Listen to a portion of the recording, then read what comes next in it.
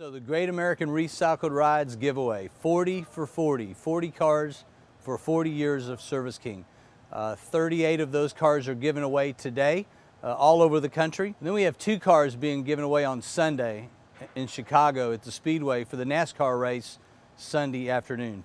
We get these vehicles from insurance companies, our partners uh, that have abandoned vehicles. We take those vehicles with the parts that are donated through our partners, our suppliers, uh, along with our technicians, service advisors, painters, preppers, detailers that get a chance to repair the vehicles hands-on, donating their time to do so, which gives uh, the end result of 40 really happy families. Yes, so right here at the AAC, uh, home of the Service King Lounge, we have 11 cars being given away uh, that our team repaired in 11 different locations of the 38 locations here in Dallas-Fort Worth. Uh, they are here today with the recipients, with the families, and the three charities that we're giving the vehicles away to. Uh, it's a big celebration to say thank you uh, and to do what Service King's always done, and that's give back to the communities that we serve.